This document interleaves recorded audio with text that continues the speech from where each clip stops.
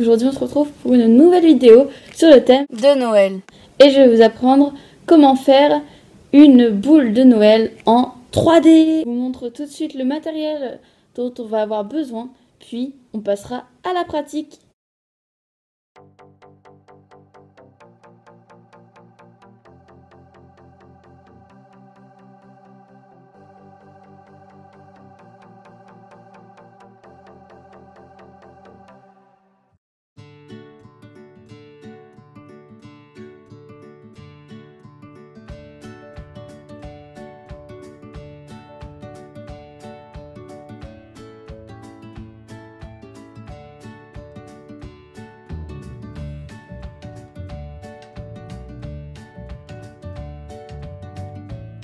Donc voilà, cette partie-là est terminée.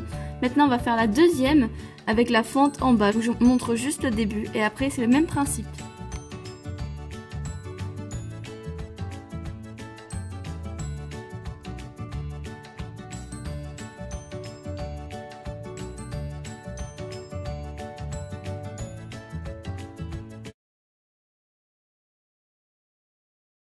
Lorsque vous repassez euh, votre, vos deux cercle, il faut bien veiller à la fente pour pas que les bords soient trop ronds, comme moi j'ai fait. Moi j'ai fait les bords trop ronds au niveau de la fente, et donc ça a du mal à passer.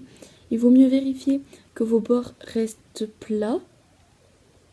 Euh, ici j'ai fait un petit peu plus attention, mais bon c'est encore rond. Il faut faire encore plus plat que ça, comme ça les fentes passeront mieux.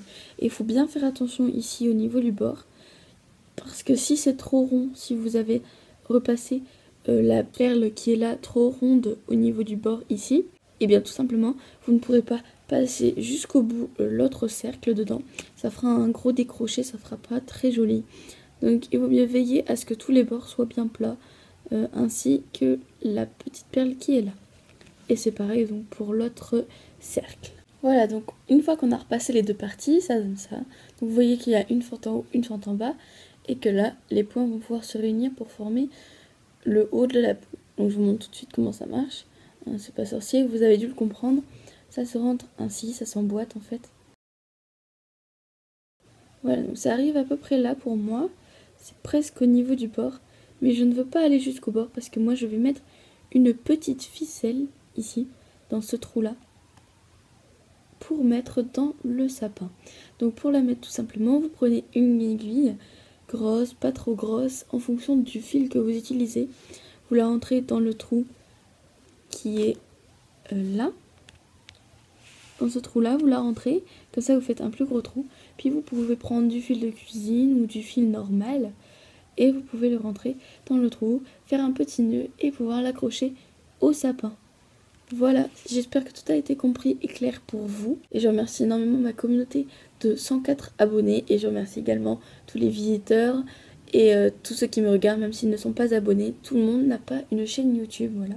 J'étais comme vous avant, maintenant j'en ai. Bon, bref, si vous avez aimé cette vidéo, n'hésitez pas à liker, commenter, partager et vous abonner. De joyeuses fêtes à vous. Bisous